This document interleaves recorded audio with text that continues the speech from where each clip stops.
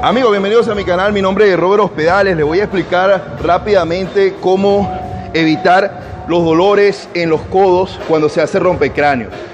La mayoría de la gente lo hace de esta manera. Aquí.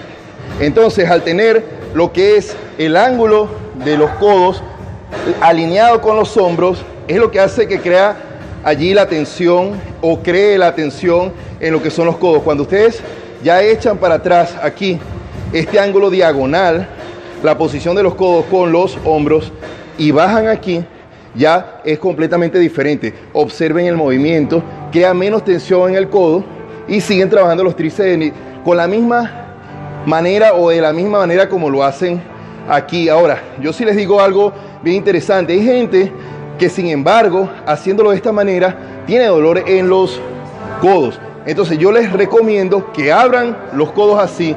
Trabajan evidentemente mucho menos la cabeza lateral, pero al menos tienen menos dolores en los codos para poder realizar este ejercicio. Observen, lo hacen de esta manera.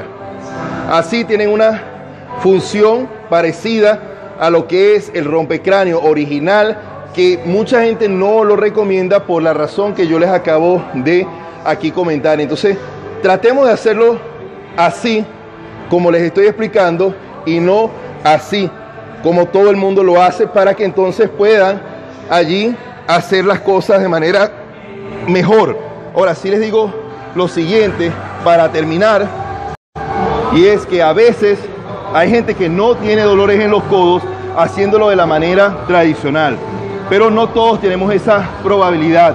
Ahora sí les digo lo siguiente, un codo enfermo no les va a dejar a ustedes hacer los ejercicios de tríceps como debe ser. Entonces, bueno, espero que este corto tip aquí les haya servido mucho. Se despide como siempre Robert Hospedales con la señal de costumbre, paz y amor. Hasta luego. Amigos, bienvenidos a mi canal. Mi nombre es Robert Hospedales. Les voy a explicar